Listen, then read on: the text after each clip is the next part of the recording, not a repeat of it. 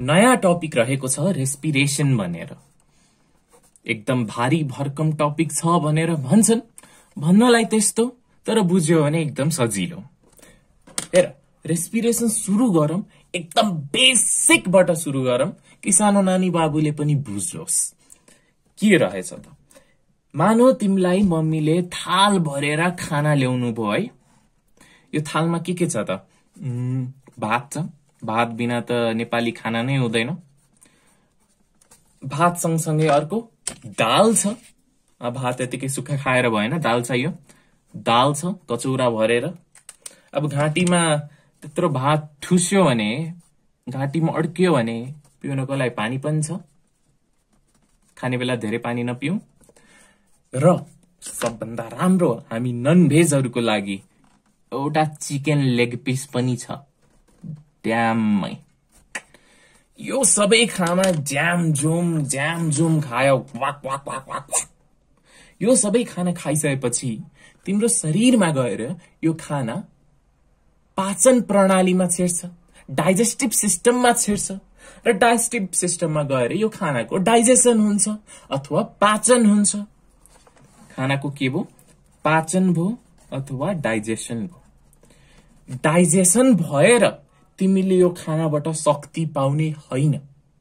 डाइजेसनको एउटा मात्र अब्जेक्टिभ हो के त?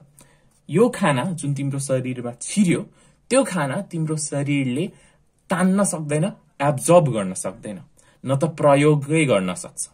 त्यसैले यो खानालाई प्रयोग गर्न सकिने अथवा एब्जर्ब गर्न सकिने रूपमा लाने प्रक्रिया नै डाइजेसन हो। त कस्तो रूप रहेछ त यो जुन शरीरले प्रयोग गर्न सक्छ? आम हेरौँ। सबभन्दा पहिला प्रोटिनको डाइजेसनबाट अमिनो एसिड बन्छ जुन शरीरले प्रयोग गर्न सक्छ। कार्बोहाइड्रेटको डाइजेसनबाट ग्लुकोज बन्छ फ्रुक्टोज बन्छ ग्यालाक्टोज बन्छ। यदि दुध भए ग्यालाक्टोज बन्छ यो पनि शरीरले प्रयोग गर्न सक्छ। फ्याट्सको डाइजेसनबाट फ्याटी एसिड बन्छ र ग्लिसेरल बन्छ जुन पनि शरीरले प्रयोग गर्न सक्छ। त्यस्तै अर्ग्यानिक एसिडहरू पनि हुन्छन् खानामा जुन शरीरले प्रयोग गर्नुपर्ने हुन्छ। तर डाइजेस्ट गर्नु नपर्ने र शरीरले सिधै एब्जर्ब गरेर प्रयोग गर्न सकिने पानी मिनरल र भिटामिन्स खानाको डाइजेसन पछि शरीरले प्रयोग गर्न सक्ने रूपहरू यी यी हुन्। तर यी सबै रूपहरू अथवा यी सबै न्युट्रियन्ट्सहरू शरीरले शक्ति पाउनको लागि प्रयोग गर्न सक्दैन। मैले के भन्न सक खोजेको? यहाँ तिमी छौ यो तिम्रो टुप्पी यहाँ तिम्रो दुईटा खुट्टा र यहाँ तिम्रो दुईटा हात। तिमी एकदम ह्यान्डसम छौ। ल ह्यान्डसम बनाइदिउँ त। आँखा गोलो गोलो आँखा।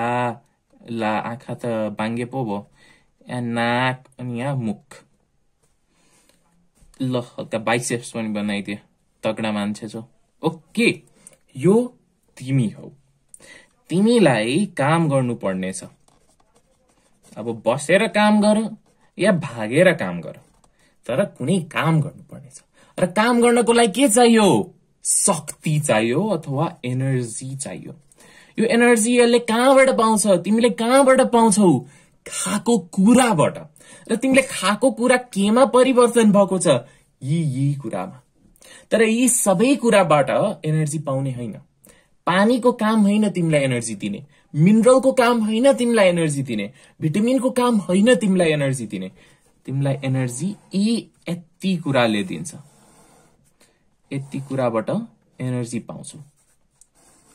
तर यति कुराहरू तिम्रो शरीरमा एब्जर्ब हुन बित्तिकै एनर्जी बन्ने होइन। यति कुराहरूको शरीरमा अक्सिडेसन हुन्छ। र यदि केमिस्ट्रीमा ध्यान दिएछौ भने अक्सिडेसन भनेको के हो? एडिसन अफ अक्सिजनलाई भन्छ। अक्सिजनको प्रेजेन्समा यी कुराहरू बर्न हुन्छ र तिमीले एनर्जी पाउँछौ। र यही जुन प्रक्रिया छ जसबाट तिमीले यी कुराहरूबाट एनर्जी प्राप्त गरेछौ अक्सिडेसनबाट त्यसैलाई रेस्पिरेसन भनिन्छ। तर कुरा यस्तो छ। रेस्पिरेसन भन्ने प्रक्रिया स्वाट्टै अमिनो एसिडले अक्सिजन पाएर एनर्जी दिने हुँदैन। ग्लुकोजले अक्सिजन पाएर एनर्जी दिने हुँदैन। यति सजिलो भयो त तिमीले कति थोरै खानामा कति धेरै एनर्जी पाउँथ्यौ होला। यो कम्प्लिकेटेड प्रोसेस हो। कम्प्लिकेटेड इन द सेन्स कि यो मल्टिपल स्टेपमा हुन्छ। Step step step step step so step by step हुने हुनाले यसलाई तिमीले स्टेप बाई स्टेप नै पढ्नुपर्ने हुन्छ। तिमीले रेस्पिरेसनको च्याप्टरमा पढ्ने नै यही हो कि रेस्पिरेसन हुने बेला के के स्टेप हुँदै यी खानेकुराहरूबाट एनर्जी प्राप्त हुन्छ त? र यो प्राप्त भएको एनर्जी आइदर तिमीले प्रयोग गर्छौ प्रयोग गरेन भने स्टोर गर्छौ जुन तिम्रो माइटोकन्ड्रियामा एटिपी को रूपमा स्टोर हुन्छ त्यसैले माइटोकन्ड्रियालाई पावर हाउस अफ सेल भनिन्छ। यति त सानो कक्षाबाट थाहा होला। आई होप ओके अब यी जुन न्युट्रियन्ट्सहरू छन् जो रेस्पिरेसनमा गए र एनर्जी दिए तिमीलाई अथवा एटिपी जेनेरेट गरे यी कुराहरूले रेस्पिरेसन प्रक्रियाको के बनाए? बेस बनाए। बेसलाई अर्को शब्दमा के भनिन्छ? सबस्ट्रेट भनिन्छ। यिनीहरूले रेस्पिरेसनको बेस बनाउने हुनाले यिनीहरूलाई रेस्पिरेटरी सबस्ट्रेट पनि भनिन्छ। सो रेस्पिरेटरी सबस्ट्रेटमा के के पर्छन् त? Amino acid glucose fructose galactose fatty acid glycerol organic acid यति पर्छन्। यति कुराको अक्सिडेसन भए पश्चात शरीरले एनर्जी प्राप्त गर्छ। जुन एनर्जी आइदर शरीरले माइटोकन्ट्रियामा गएर स्टोर गर्छ एटिपी को रूपमा अथवा चाहिएको बेला त्यो शक्ति प्रयोग गर्छ काम गर्नको लागि। र यही जुन प्रक्रिया छ त्यसैलाई रेस्पिरेसन भनिन्छ। हामीले रेस्पिरेसनको परिभाषा बुझ्यौं। र रेस्पिरेसन अनेक स्टेपमा हुँदो रहेछ भनेर पनि बुझ्यौं। तर ती अनेक स्टेपमा छिर्नु अघि रेस्पिरेसन कसरी हुँदो रहेछ अथवा रेस्पिरेसनमा के हुँदो रहेछ भनेर हामी एकदम बेसिकमा एकदम सटिकमा हेरौँ। रेस्पिरेसन हुँदा मानौ एउटा सेल छ। यो सेलको साइटोप्लाजममा रेस्पिरेटरी सबस्ट्रेट छ। ती रेस्पिरेटरी सबस्ट्रेटहरू मध्ये मैले ग्लुकोज चुज गरे। किनभने प्लान्टको सेलमा युजली रेस्पिरेटरी सबस्ट्रेट ग्लुकोज नै हुन्छ त्यसैले। सो यहाँ हामीसँग ग्लुकोज छ। ग्लुकोज एउटा रेस्पिरेटरी सबस्ट्रेट हो। भन्नाले ग्लुकोज रेस्पिरेसन प्रक्रियामा छिर्न सक्छ। ग्लुकोजको फर्मुला छ C six S twelve O six भन्नाले यो छवटा कार्बनबाट बनेको रहेछ। यहाँ एउटा डल्लोले एउटा कार्बनलाई जनाउँछ। सो एक दुई तिन चार पाँच छ। म एकचोटि रेकर्डिङ हेरौँ मलाई मल्टिपलचोटि धोका दिइसक्यो यो रेकर्डिङले भइरहेछ?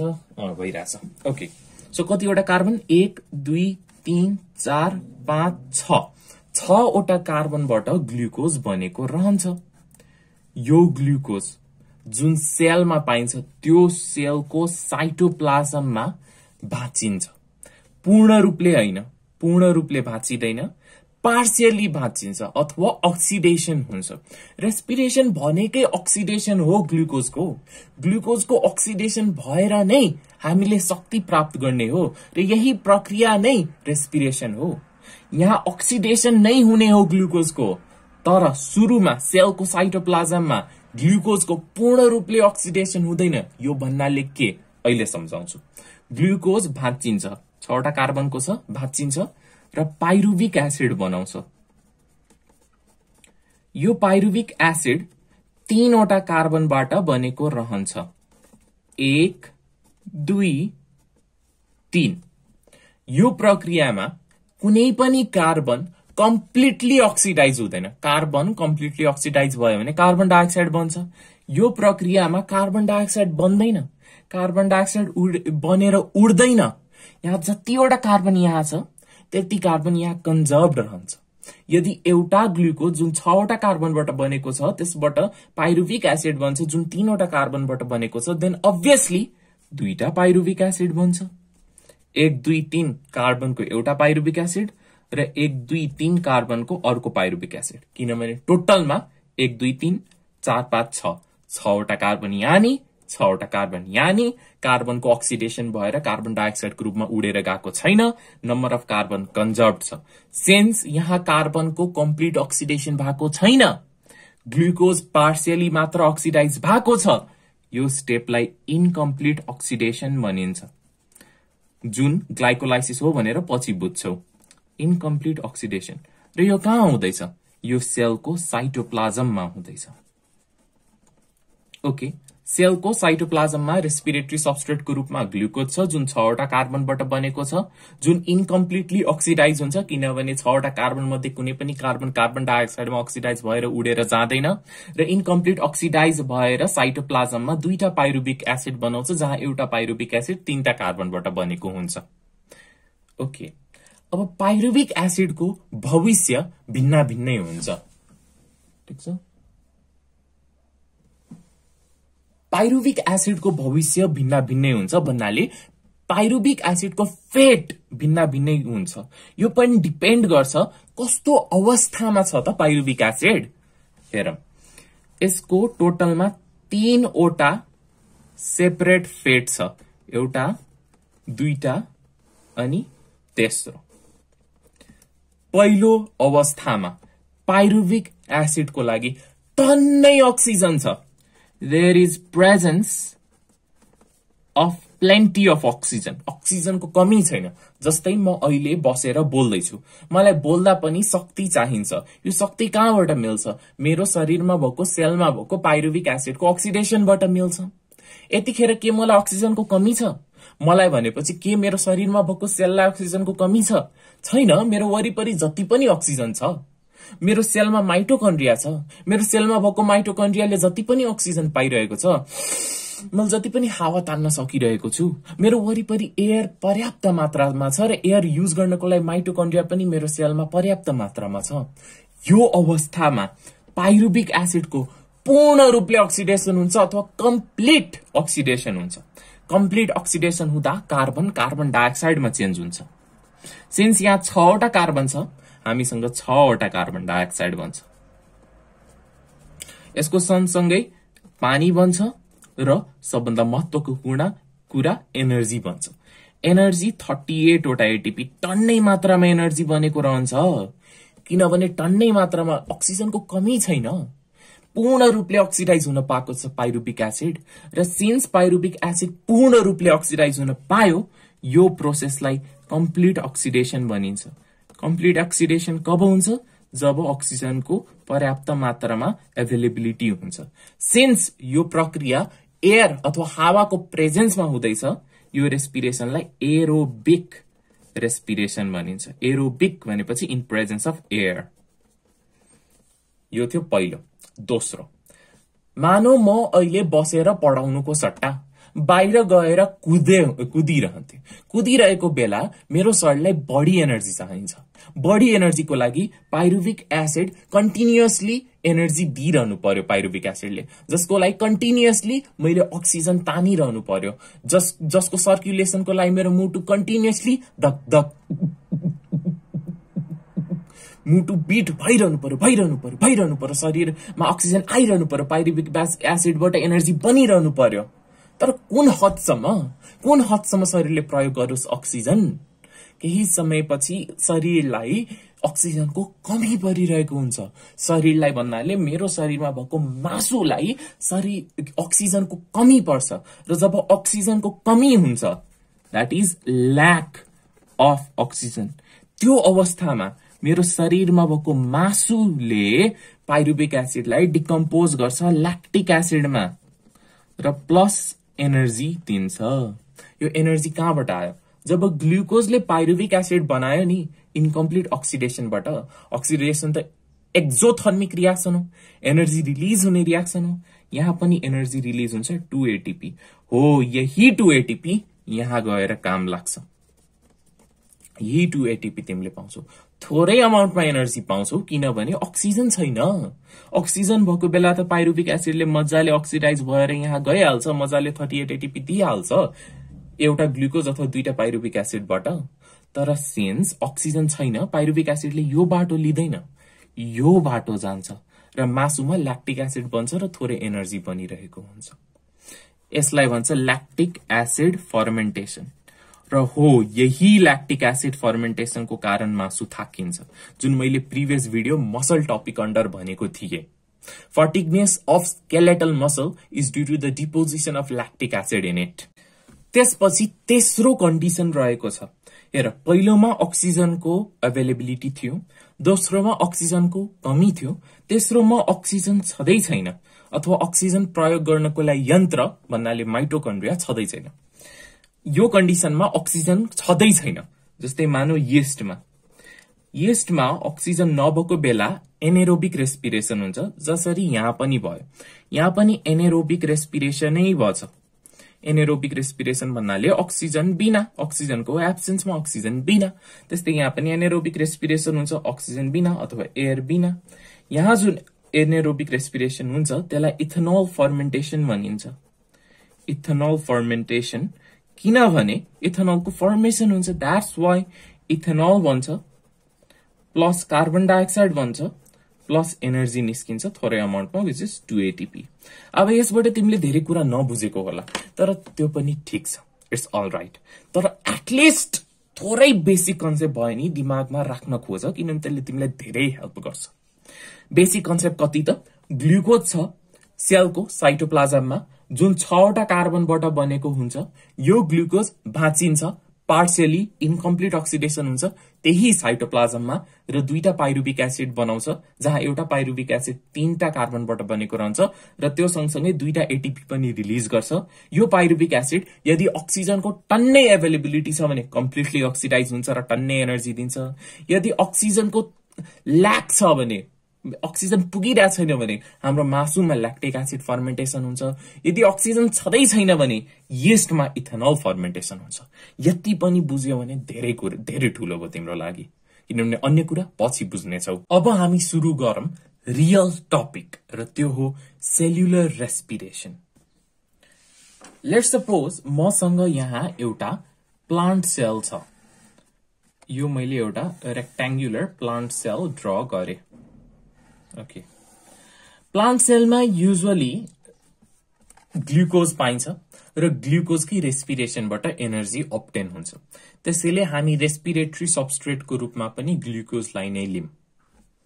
सो प्लान्टको सेलभित्र सेलमा साइटोप्लाजम छ। साइटोप्लाजममा के छ?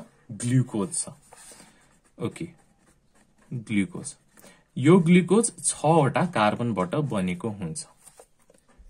रेस्पिरेसन तल अथवा सेलभित्र हुने रेस्पिरेसनलाई सेल्युलर रेस्पिरेसन भनिन्छ। सेल्युले सेल्युलर रेस्पिरेसन तल सबभन्दा पहिला यो ग्लुकोजको इन्कम्प्लिट अक्सिडेसन हुन्छ। छवटा कार्बनबाट बनेको ग्लुकोज भाँचिन्छ दुईटा पाइरुविक एसिडमा र एउटा इन्डिभिजुअल पाइरुविक एसिड तीनवटा कार्बनबाट बनेको हुन्छ। 3 times 2 equals to 6. यो प्रोसेसलाई ग्लाइकोलाइसिस भनिन्छ। ग्लाइको ग्लुकोजसँग सम्बन्धित र लाइसिस भनेको भाँच्नु त्यसैले ग्लुकोज भाँच्ने प्रक्रियालाई ग्लाइकोलाइसिस भनिन्छ। यहाँ तिमीले नोटिस गर्यो भने सबै कार्बन ग्लुकोजको पाइरुविक एसिडमै कन्भर्ट भएको छ। कुनै पनि कार्बन कार्बन डाइअक्साइडको रूपमा बाहिर निस्केको छैन। त्यसैले यो कस्तो अक्सिडेसन हो? इनकम्प्लिट अक्सिडेसन हो। किनभने यहाँ ग्लुकोज कम्प्लिटली अक्सिडाइज भएको छैन। त्यसैले दिस इज इनकम्प्लिट अथवा पार्सियल अक्सिडेसन यो सबै प्रक्रिया कहाँ हुँदैछ?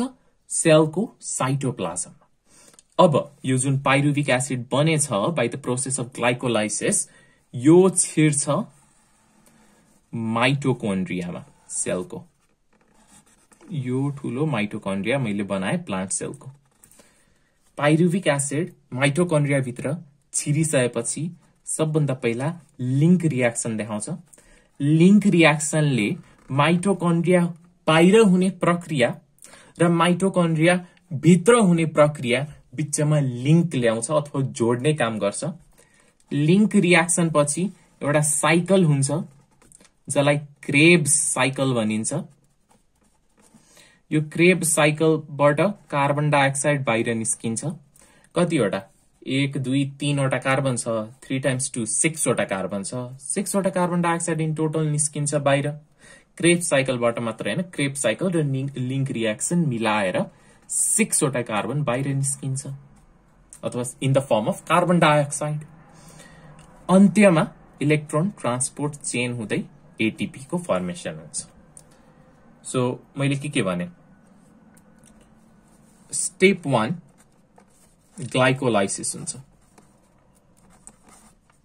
ग्लाइको ग्लुकोजसँग सम्बन्धित लाइसिस भनेको भाँच्नु। त्यसैले ग्लुकोज भाँच्ने प्रक्रियालाई ग्लाइकोलाइसिस भनिन्छ। सिन्स यहाँ कार्बन डाइअक्साइड बन्दैन यो एउटा पार्सियल अथवा इन्कम्प्लिट अक्सिडेसन हो। कहाँ हुन्छ? साइटोप्लाजममा स्टेप टू लिङ्क रियाक्सन। ग्लाइकोलाइसिसको एन्ड प्रोडक्ट सेलको माइटोकन्ड्रियाभित्र छेड्छ र लिङ्क रियाक्सन देखाउँछ जसले माइटोकन्ड्रिया बाहिर हुने ग्लाइकोलाइसिस र माइटोकन्ड्रिया भित्र हुने ग्रेप साइकल बिचमा लिङ्केज ल्याउँछ। यो पनि माइटोकन्ड्रिया भित्रै हुन्छ। अथवा माइटोकन्ड्रियाको म्याट्रिक्समा हुन्छ। त्यसपछि आउँछ क्रेब साइकल। जुन पनि माइटोकन्ड्रिया भित्रै हुन्छ। र फाइनली इलेक्ट्रोन ट्रान्सपोर्ट चेन जुन माइटोकन्ड्रियाको भित्री पर्खालमा पाइन्छ inner wall of mitochondria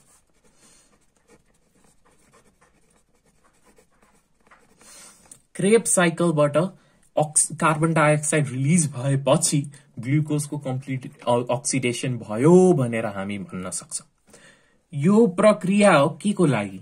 For complete oxidation of glucose job oxygen पर्याप्त मात्रामा छ र माइटोकन्ड्रियाको प्रेजेन्स छ। मानौ माइटोकन्ड्रिया छैन अथवा अक्सिजन छैन। त्यो केसमा एनेरोबिक रेस्पिरेसन हुन्छ। यो एरोबिक रेस्पिरेसन भयो। यहाँ अक्सिजनको प्रयोग भयो। यहाँ माइटोकन्ड्रिया भित्र अक्सिजनको प्रयोग भयो। मानव अक्सिजन छैन अथवा माइटोकन्ड्रिया नै छैन। त्यतिखेर एनेरोबिक रेस्पिरेसन हुन्छ। एनेरोबिक एरोबिक भनेको हावाको प्रेजेन्समा एयरको प्रेजेन्समा एनएरोबिक भनेको हावाको एब्सेन्समा अथवा एयरको एब्सेन्समा अथवा अक्सिजनको एब्सेन्समा एनेरोबिक रेस्पिरेसन हुन्छ। एउटा पाइरोबिक एसिडको पाथ छ जसबाट एरोबिक रेस्पिरेसन भयो र ग्लुकोजको कम्प्लिट अक्सिडेसन भएर गयो। किनभने फाइनली जति ग्लुकोजमा भएका कार्बनहरू छन् ती सबै कार्बन अक्सिडाइज भएर कार्बन डाइअक्साइडको रूपमा बाहिर निस्के र धेरै मात्रामा एनर्जी प्रड्युस भयो। र अर्को छ जब अक्सिजनको कमी हुन्छ अथवा माइटोकन्ड्रिया नै प्रेजेन्स हुँदैन त्यतिखेर एनेरोबिक रेस्पिरेसन हुन्छ which can either be lactic acid fermentation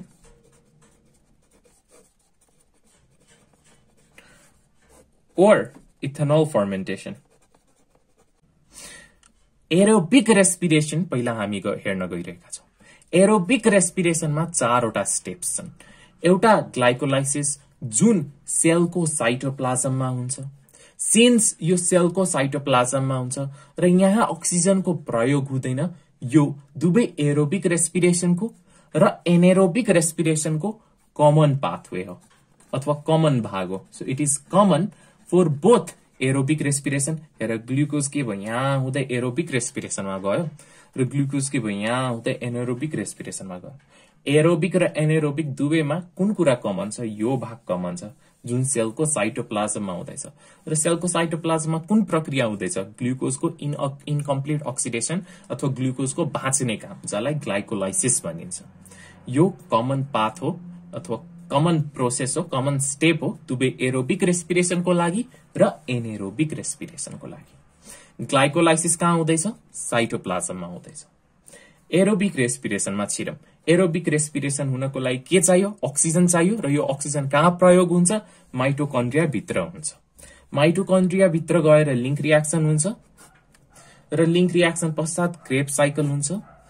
जसपछि कार्बन कम्प्लिटली अक्सिडाइज हुन्छ कार्बन डाइअक्साइडमा अनि फाइनली इलेक्ट्रोन ट्रान्सपोर्ट चेन जुन माइटोकन्ड्रियाको इनर वालमा पाइन्छ इनर वालमा पाइन्छ इनर वालमा त्यहाँ गएर एटिपी फर्मेसन हुन्छ। अब के सुरु गरौँ? ग्लाइकोलाइसिस सुरु गरौँ। अब हामी सुरु गर्न गइरहेका छौँ। सेल्युलर रेस्पिरेसनको सबभन्दा पहिलो स्टेप जुन स्टेप दुवै एरोबिक रेस्पिरेसन र एनेरोबिक रेस्पिरेसनमा पाइन्छ।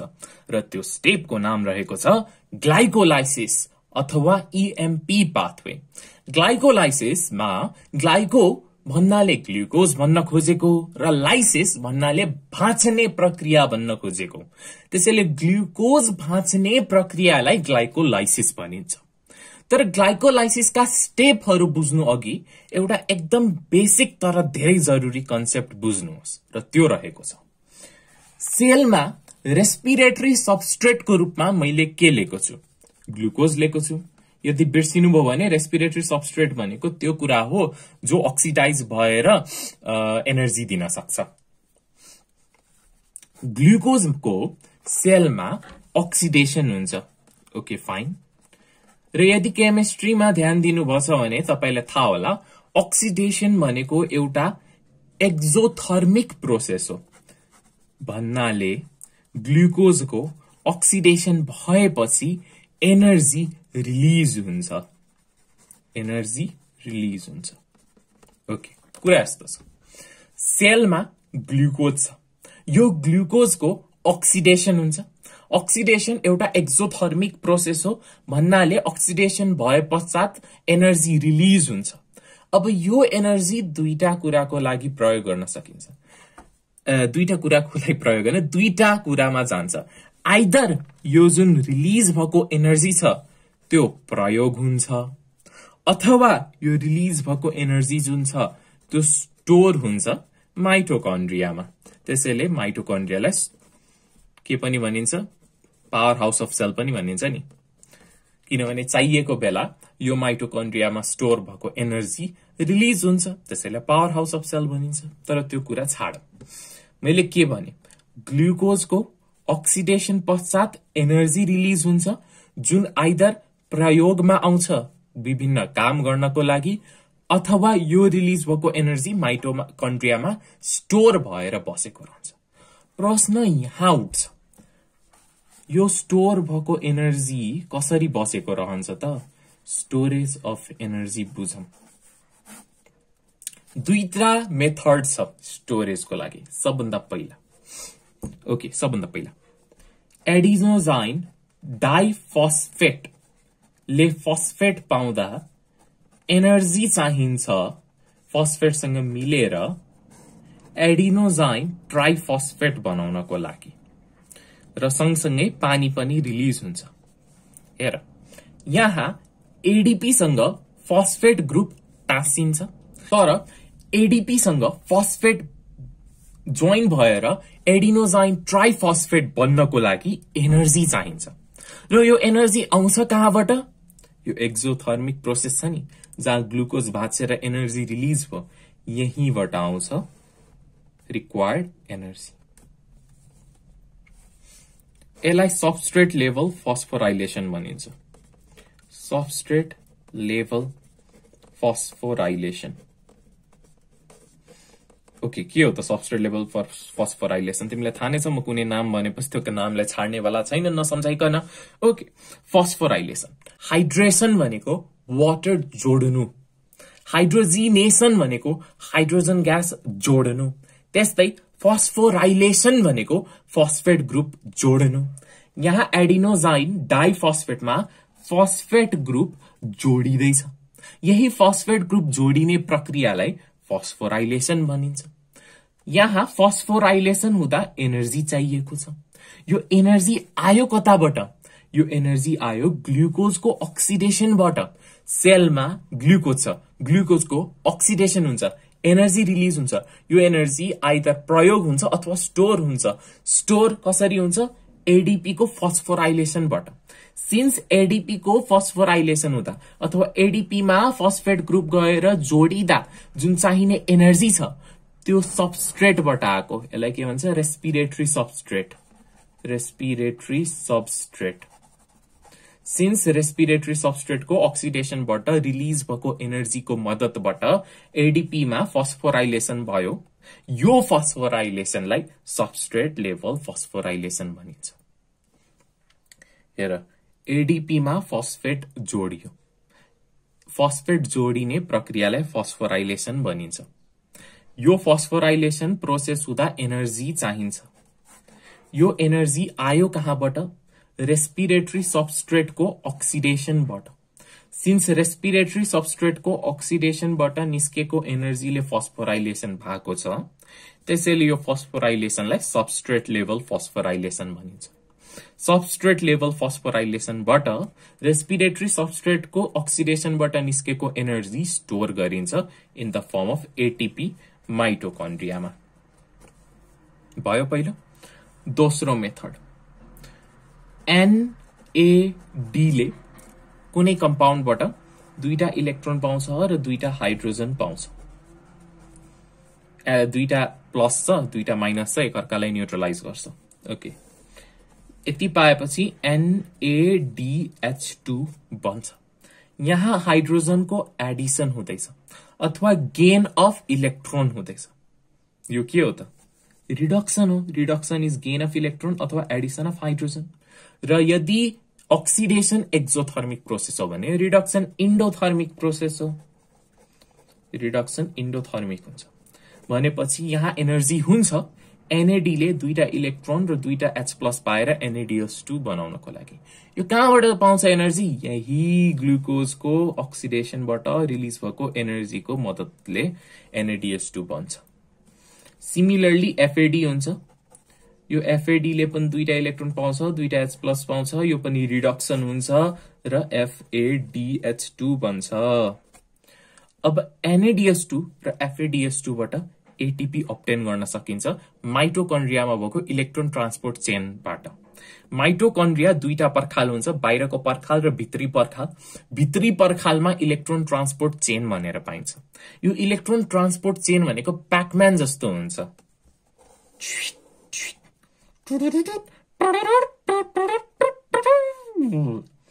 यहाँ एनएडिएच टू छ यहाँ एफएडिएच टू छ।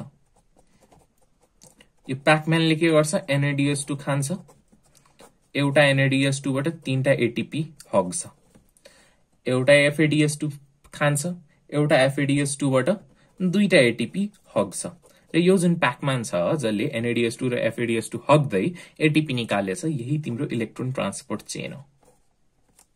के भने इलेक्ट्रोन ट्रान्सपोर्ट चेन जुन माइटोकन्ड्रियाको भित्री पर्खालमा पाइन्छ त्यो प्याकम्यान जस्तो हुन्छ जसले एउटा एउटा एनएडिएस टू खान्छ र तिनवटा एटिपी हग्छ एउटा एफएडिएस टू खान्छ र दुईटा एटिपी हग्छ। ग्लाइकोलाइसिसका स्टेप्समा छिर्नु अघि केही बेसिक कन्सेप्टहरू जान्नु पर्यो। कति त रिसाइसक्यो होला। अरे ग्लाइकोलाइसिस टपिक सुरु गरेछ। ग्लाइकोलाइसिसको स्टेपमा समेत छिर्न कति टाइम लागेको होला? तिमीलाई ग्लाइकोलाइसिसको स्टेप बुझ्नु अघि यो बेसिक कन्सेप्ट बुझ्न जरुरी छ। अरे ग्लाइकोलाइसिसमा छ नै केही। ग्लाइकोलाइसिस भनेको स्टेप्सहरू हुन् जुन स्टेप्सबाट ग्लुकोज भाँचिन्छ। पाइरुबिक एसिडमा सिन्स ग्लुकोज छवटा कार्बनबाट बनेको रहन्छ र पाइरुबिक तीनवटा कार्बनबाट बनेको रहन्छ। एउटा ग्लुकोजबाट दुईटा पाइरुबिक एसिड बन्छ। यहाँ कार्बन डाइअक्साइडको रिलिज हुँदैन। त्यसैले यो पार्सियल अक्सिडेसन हो। यहाँ एनर्जी चाहिँ बन्छ। जुन स्टोर हुन्छ एटिपी र एनएडिएस टूको फर्ममा दुईटा एटिपी निस्किन्छ र दुईटा एनएडिएस टू निस्किन्छ। यो बाहेक अन्य केही कुरा त तिमीलाई इन्ट्रान्स लेभलमा त केही चाहिँदै चाहिँदैन। तर त्यति पनि बुझ्नको लागि एटलिस्ट बेसिक कन्सेप्ट हुनु पर्यो स्टार्ट गरौँ। सो यहाँ तिमीसँग एउटा वृक्षको पात छ। पातमा के पाइन्छ? मिजोफिल सेल्स पाइन्छ। जुन हरियो रङको हुन्छ। यो मिजोफिल सेल्स भित्र फोटोसिन्थेसिस हुन्छ। फोटो भनेपछि लाइट सिन्थेसिस भनेपछि बनाउने काम यसले लाइटको प्रयोग गरेर खाना बनाउने काम गर्छ। फोटोसिन्थेसिस भइसकेपछि ग्लुकोज बन्छ जुन छवटा कार्बनको हुन्छ। अब यो ग्लुकोज जुन बन्यो छवटा कार्बनको त्यो आइदर स्टोर हुन्छ। यदि स्टोर भयो भने स्टार्चको फर्ममा स्टोर हुन्छ अथवा ट्रान्सपोर्ट हुन्छ प्लान्टको विभिन्न पार्टमा। ट्रान्सपोर्ट हुन्छ।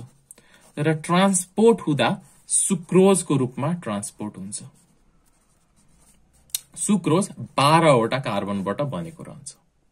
ग्लुकोज एउटा मोनोमर हो। सिन्स यो कार्बोहाइड्रेटको मोनोमर हो यसलाई मोनोस्याकाराइड भनिन्छ। सुक्रोज दुईटा छवटा कार्बनबाट बनेको कुराबाट बनेको रहन्छ अथ- अथवा दुईटा मोनोस्याकाराइडबाट बनेको रहन्छ। त्यसैले सुक्रोज एउटा डाइस्याकाराइड हो। सिक्स टाइम्स टु टुवेल्भ त्यसैले बाह्रवटा कार्बनबाट बनेको छ। सुक्रोज भाँचिन्छ। पानी खुवाएर अथवा हाइड्रोलिसिस हुन्छ ग्लुकोजमा जुन छवटा कार्बनबाट बनेको रहन्छ र फ्रुक्टोजमा जुन पनि छवटा कार्बनबाटै बनेको रहन्छ। र यहाँ जुन इन्जाइम चाहिन्छ सुक्रोजको हाइड्रोलिसिस भएर ग्लुकोज र फ्रुक्टोजमा जानको लागि त्यो इन्जाइमको नाम हो इन्भर्टेज। एज भनेपछि इन्जाइम भन्न खोजेको। इन्भर्टेज इन्जाइम रेस्पोन्सिबल छ सुक्रोजको हाइड्रोलिसिस भएर ग्लुकोज र फ्रुक्टोज बनाउनको लागि। ग्लुकोज र फ्रुक्टोज दुवै मोनोस्याक्राइड हुन् र दुवै छवटा कार्बनबाट बनेका हुन्छन् र दुवै दुवै ग्लाइकोलाइसिसमा छिर्छन्। अब ग्लाइकोलाइसिस हेर। यो सेल छ। यो सेलभित्र ग्लाइकोलाइसिस हुँदैछ। ग्लाइकोलाइसिस हुँदा के हुन्छ? मानौ मैले ग्लुकोज लिए ग्लुकोज र फ्रुक्टोज मध्ये। जुन छवटा कार्बनबाट बनेको हुन्छ। ग्लुकोजको ग्लाइकोलाइसिस भयो अथवा ग्लुकोजको ब्रेकडाउन भयो र फाइनली पाइरुविक एसिड बन्यो जुन तीनवटा कार्बनको हुन्छ। सिन्स यहाँ छवटा कार्बन छ यहाँ तीनवटा कार्बन छ र कुनै पनि कार्बनको अक्सिडेसन भएर कार्बन डाइअक्साइडको रूपमा निस्केको छैन। यहाँ दुईवटा पाइरुबिक एसिड हुनु पर्यो। थ्री टू जा सिक्स। त्यसैले total number of carbon conserve छ लेफ्ट ह्यान्ड साइडमा र राइट ह्यान्ड साइडमा। यो जुन प्रक्रिया छ यही ग्लुकोज हो जुन इनकम्प्लिट अक्सिडेसन अफ ग्लुकोज हो यही ग्लाइकोलाइसिस हो। यहाँ के के छ त? पोइन्ट नम्बर वान ग्लाइकोलाइसिसलाई इएमपी पाथवे पनि भनिन्छ। किनभने ग्लाइकोलाइसिस तीनटा साइन्टिस्टद्वारा डिस्कभर भएको थियो। ती हुन् एम्बडेन पहिलो साइन्टिस्ट यीबाट नाम सुरु हुन्छ। दोस्रो छ मेयर हफ जसको नाम एमबाट सुरु हुन्छ। र तेस्रो छ परानस जसको पीबाट नाम सुरु हुन्छ। I am really sorry if I butchered the pronunciation जे होस् यीबाट एमबाट र पीबाट तिनीहरूको इनिसियल हुनु हुनुको कारण इएमपी पाथवे भनेर ग्लाइकोलाइसिसलाई भनिन्छ। दोस्रो ग्लाइकोलाइसिस हुन्छ कहाँ? सेलको साइटोप्लाजममा so occurs in cytoplasm of cell तेस्रो यो इनकम्प्लिट अक्सिडेसन हो। यसलाई इनकम्प्लिट अक्सिडेसन किन भनिन्छ? किनभने यहाँ कार्बन डाइअक्साइड खर्च भएर बाहिर निस्किँदैन अथवा कार्बन डाइअक्साइडको फर्मेसन हुन्छ। मिन्स कार्बन डाइअक्साइडको फर्मेसन हुँदैन त्यसैले। अर्को यो दुवै प्रोक्यारियोटिक र युक्यारियोटिक सेलमा हुन्छ। प्रो लेखिदिन्छु र यु लेखिदिन्छु। कारण किनभने मैले प्रिभियसली मेन्सन के गरेको थिएँ? ग्लाइकोलाइसिस कमन हुन्छ। बोथ एरोबिक रेस्पिरेसनमा र एनेरोबिक रेस्पिरेसनमा।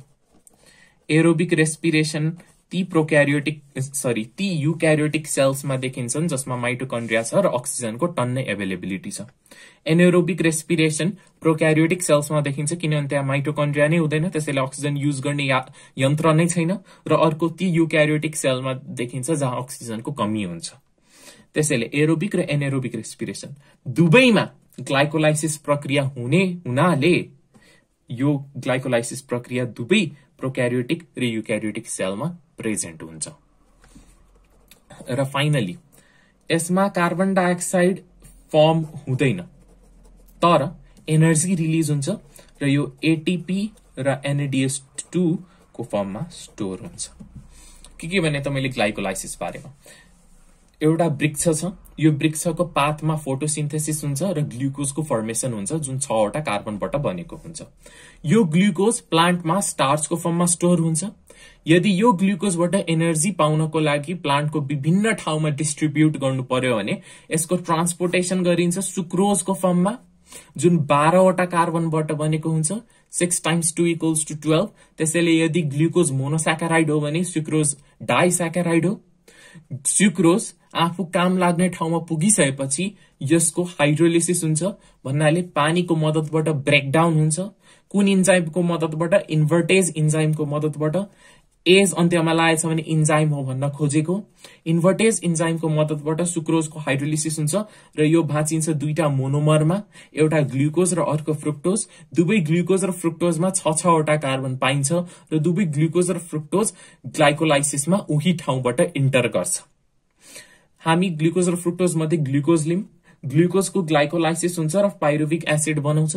सिन्स ग्लुकोज छवटा कार्बनबाट बनेको छ र पाइरुबिक एसिड तीनवटा कार्बनबाट बनेको छ र सिन्स यो प्रक्रियामा कुनै पनि कार्बनको खर्च हुँदैन कार्बन डाइअक्साइड बनेर दुईटा पाइरुबिक एसिड बन्छ किनभने थ्री टू जा सिक्स हुन्छ। केही बेसिक फिचर्सहरू के के हुन्? ग्लाइकोलाइसिसका सबभन्दा पहिला ग्लाइकोलिसिसलाई इएमपी पाथवे पनि भनिन्छ जहाँ ई भन्नाले एमडेन एम भनेको मेयरहफ र पी भन्नाले पार्नस हुन्। यिनीहरू ती साइन्टिस्ट हुन् जसले ग्लाइकोलाइसिस डिस्कभर गरेका थिए। यो ग्लाइकोलाइसिसको प्रक्रिया सेलको साइटोप्लाजममा हुन्छ।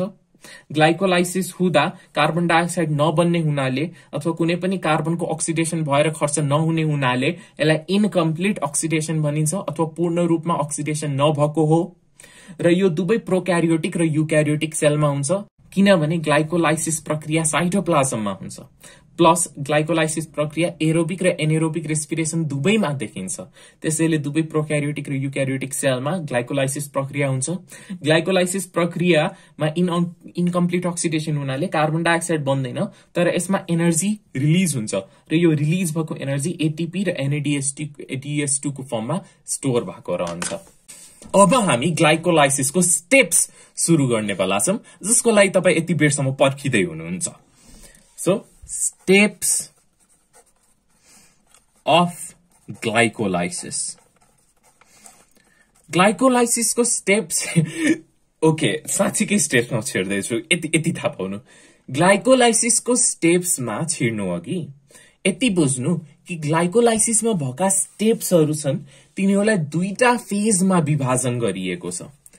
एउटा छ एनर्जी स्पेन्डिङ फेज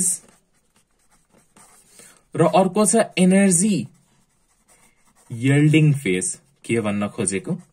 हेर ग्लाइकोलाइसिस भनेको यो हो। ग्लुकोजको पार्सल अक्सिडेसन पाइरुबिक एसिडमा जुन विभिन्न स्टेप हुँदै जान्छ। यो सबै स्टेपहरूमा के छ भन्दा तिम्रो एटिपी बन्ने काम मात्र हुँदैन। अथवा साधारण भाषामा एनर्जी बन्ने काम मात्र हुँदैन।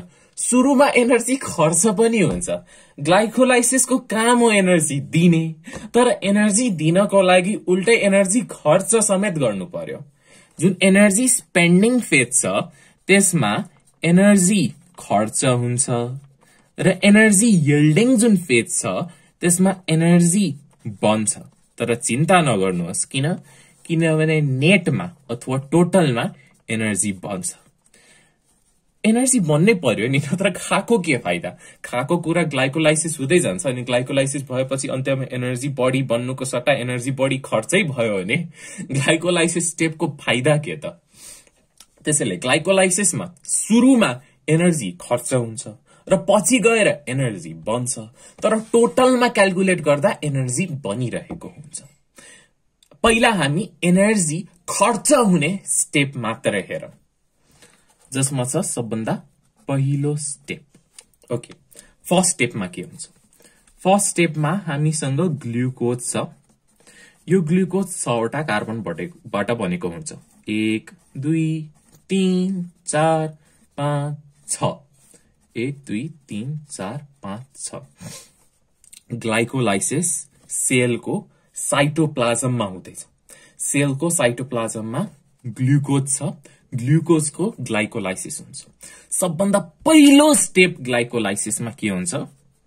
यो ग्लुकोज जुन छवटा कार्बनबाट बनेको छ त्यो कन्भर्ट हुन्छ ग्लुकोज सिक्स फस्फेटमा। फस्फेटमा। चिन्ता लिनु पर्दैन हेर यो भएको। छवटा कार्बनको ग्लुकोज छ। यहाँ पनि बनाऊ न त। एक दुई तिन चार पाँच छ।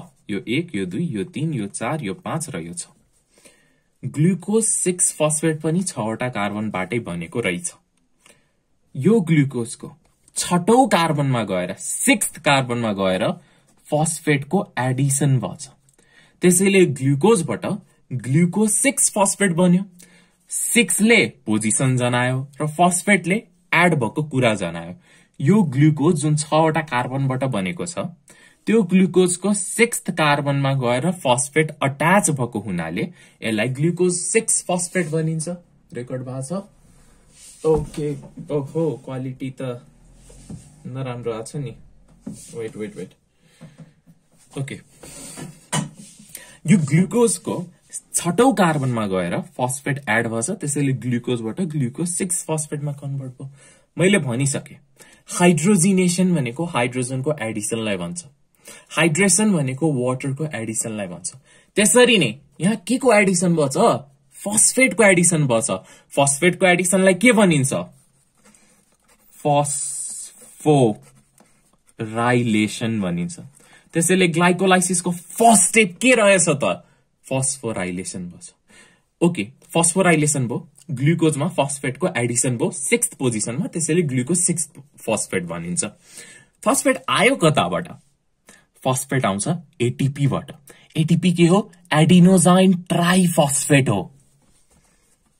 यहाँ एटिपी आयो है। एडिनोजाइन ट्राइफस्फेट आयो।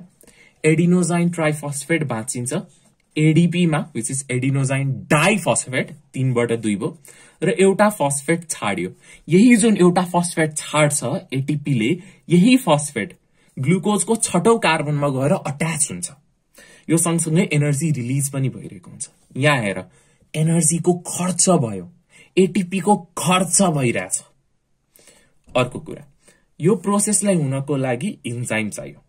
सिन्स यहाँ एटिपीको प्रयोग भएछ अथवा फस्फोराइलेसन भइरहेको छ इन्जाइमको अन्त्यमा काइनेज हुन्छ यति याद राख्नु। काइनेज हेर इन्जाइमको अन्त्यमा काइनेज प्रयोग गर्ने जब एटिपी संलग्न छ त्यो प्रक्रियामा। अगाडि हेक्जो लाग्छ। किन? किनभने ग्लुकोज छवटा कार्बनबाट बनेको छ र छटौं पोजिसनमा गएर फस्फेटको एडिसन भएछ।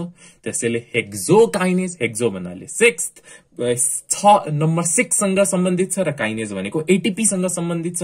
त्यसैले hexokinase. So first step के छ? ग्लाइकोलाइसिसको फर्स्ट स्टेप के हो? ग्लुकोज छ। ग्लुकोजमा फस्फेट ग्रुप एड भयो सिक्स कार्बनमा त्यसैले ग्लुकोज सिक्स फस्फेट भयो। ग्लुकोज सिक्स फस्फेट मा फस्फेटको एडिसन भएको कारणले स्टेपको नाम हो फस्फोराइलेसन यो फस्फेट कहाँबाट आयो? एटिपीबाट आयो। सिन्स यहाँ एटिपी संलग्न छ इन्जाइमको अन्त्यमा काइनेज लेख्ने। र सिन्स यहाँ सिक्स पोजिसनमा गएर फस्फेटको एडिसन भएको छ इन्जाइमको नाम हो हेक्जोकाइनेज सँगसँगै यहाँ म्याग्नेजियम टू प्लस पनि पाइन्छ म्याग्नेजियमको आयन पनि पाइन्छ किनभने म्याग्नेजियम आयन एउटा कोफ्याक्टर हो जसले हेक्जोकाइनेसलाई स्टेबल राख्छ अथवा पूरा प्रक्रिया जुन छ पूरा प्रोसेस जुन छ त्यसलाई स्टेबिलिटी दिन्छ। दोस्रो दोस्रो स्टेपमा के हुन्छ? ओके ग्लुकोज सिक्स फस्फेट बन्यो है त? अब यो ग्लुकोज सिक्स फस्फेट कन्भर्ट हुन्छ फ्रुक्टोज सिक्स फस्फेटमा यहाँ यो कुरा बुझ ग्लुकोज सिक्स फस्फेट छवटा कार्बनबाट बनेको छ। फ्रुक्टोज सिक्स फस्फेट पनि छवटा कार्बनबाटै बनेको छ। ग्लुकोज सिक्स फस्फेट र फ्रुक्टोज सिक्स फस्फेट दुवैको मोलिकुलर फर्मुला एउटै हुन्छ। तर स्ट्रक्चर भिन्ना भिन्नै हुन्छ। र यस्तो कम्पाउन्ड जसको मोलिकुलर फर्मुला एउटै हुन्छ तर स्ट्रक्चर भिन्ना भिन्नै हुन्छ त्यसलाई के भनिन्छ? आइसोमर भनिन्छ भन्नाले फ्रुक्टोज सिक्स फस्फेट र ग्लुकोज सिक्स फस्फेट एक अर्काका आइसोमर हुन्। यो प्रोसेसमा भइरहेछ ग्लुकोज सिक्स फस्फेट आफ्नो आइसोमर फ्रुक्टोज सिक्स फस्फेटमा कन्भर्ट हुँदैछ अथवा आइसोमर बन्दैछ अथवा आइसोमराइजेसन हुँदैछ। सो आइसोमराइजेसन के हो? सेकेन्ड स्टेप हो ग्लाइकोलाइसिसको। सेन्स यहाँ आइसोमराइजेसन हुँदैछ यहाँ जुन इन्जाइम चाहिन्छ त्यो हो आइसोमरेज इन्जाइम जसले आइसोमराइजेसन ल्याउँछ। र सिन्स आइसोमराइजेसन कसको हुँदैछ? ग्लुकोज सिक्स फस्फेटको हुँदैछ। त्यसैले यो इन्जाइमको नाम रहेछ फस्फो ग्लुको आइसोमरेज जहाँ फस्फो भन्नाले फस्फेट ग्लुको भन्नाले ग्लुकोज ग्लुकोज सिक्स फस्फेटको आइसोमराइजेसन हुन्छ फ्रुक्टोज सिक्स फस्फेटमा फस्फोग्लुको आइसोमरेज इन्जाइमको मद्दतबाट। त्यसपछि तेस्रो स्टेप। तेस्रो स्टेपमा फ्रुक्टोज सिक्स फस्फेट छ। है त? जुन छवटा कार्बनबाट बनेको छ। एक दुई तीन चार पाँच छ र छटौं कार्बनमा गएर फस्फेट पाइन्छ। अब यो फ्रुक्टोज सिक्स फस्फेट कन्भर्ट हुन्छ fructose one comma six di फस्फेटमा जहाँ डाई भनेको टू भन्न खोजेको। दुईटा फस्फेट ग्रुप अब अट्याच भयो फ्रुक्टोजमा यो अझै छवटै कार्बन छ। एक दुई तीन चार पाँच छ। पहिला सिक्स कार्बनमा गएर फस्फेट ग्रुप अट्याच थियो। अब सिक्स कार्बनको साथसाथै फर्स्ट कार्बनमा गएर पनि फस्फेट ग्रुप अट्याच भएको पाइन्छ। सेन्स यहाँ। फस्फेटको एडिसन भएछ यो प्रोसेसको नाम पनि फस्फोराइलेसन भनिन्छ। पहिलो फस्फोराइलेसनमा ग्लुकोजको छटौं कार्बनमा फस्फेटको एडिसन भयो। दोस्रो फस्फोराइलेसनमा फ्रुक्टो सिक्स फस्फेट पहिलेदेखि छ त्यसको फर्स्ट कार्बनमा फस्फेटको एडिसन भयो। फस्फेट कहाँबाट आउँछ? मैले भनिसके एटिपीबाट आउँछ। एडिनोजाइन ट्राइफस्फेट भाँचिन्छ एडिनोजाइन डाइफस्फेटमा र एउटा फस्फेट फाल्छ जुन फ्रुक्टो सिक्स फस्फेटको फर्स्ट कार्बनमा गएर अट्याच हुन्छ। सिन्स एटिपी इन्भल्भ छ यहाँ जुन इन्जाइम हुन्छ त्यसको अन्त्यमा काइनेज पाइन्छ। सिन्स यो काइनेज कोसँग रेस्पोन्सिबल छ कसको फस्फोराइलेसनमा रेस्पोन्सिबल छ फ्रुक्टोज सिक्स फस्फेटको फस्फोराइलेसनमा रेस्पोन्सिबल छ। त्यसैले फस्फो फस्फो फ्रुक्टो फस्फो फ्रुक्टो काइनेज हो इन्जाइमको नाम। फस्फो भन्नाले फस्फेट फ्रुक्टो भन्नाले फ्रुक्टोज भन्न खोजेको। सो थर्ड स्टेपमा के छ? फ्रुक्टो सिक्स फस्फेटको पहिलो कार्बनमा फस्फेटको एडिसन हुन्छ अथवा फस्फोराइलेसन हुन्छ एटिपीको मद्दतबाट in the presence of kinase enzyme जसको नाम रहेको छ फस्फोफ्रुक्टोकाइनेज त्यसपछि फोर्थ स्टेप यो फस सरी यो फ्रुक्टोज वान कमा टू डाइफस्फेटमा एउटै मलिक्युलमा दुईटा फस्फेट छ। मैले के भने? फ्रुक्टोज वान कमा सिक्स डाइफस्फेटमा डाइफस्फेटमा जुन छवटा कार्बनबाट बनेको छ यसको एउटै मलिक्युलमा दुईटा फस्फेट्स त्यसैले यो मलिक्युल हाइली अनस्टेबल हुन्छ। हाइली अनस्टेबल भएको कारणले यो इमिडिएटली भाँचिन्छ दुईटा मलिक्युलमा in the presence of enzyme aldose के के हुन् त ती? डाई हाइड्रोक्सी एसिटोन र फस्फोग्लिसरल्डिहाइड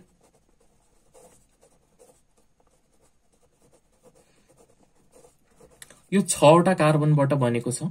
छवटा कार्बनबाट बनेको fructose one comma six diphosphate भाँचिन्छ तीनवटा कार्बनबाट बनेको डाइहाइड्रोक्सी एसिटोन र तीनवटा कार्बनबाट बनेको फस्फोग्लिसरल्डिहाइड यसलाई सर्टमा डाइह्याप लेख्न मिल्यो जहाँ यो भनेको डाइ डाइ हाइड्रोक्सी एसिटोन ए सरी अन्त्यमा फस्फेट छोडे फस्फेट एसिटोन फस्फेट र यसलाई पगाल लेख्न मिल्यो पगाल।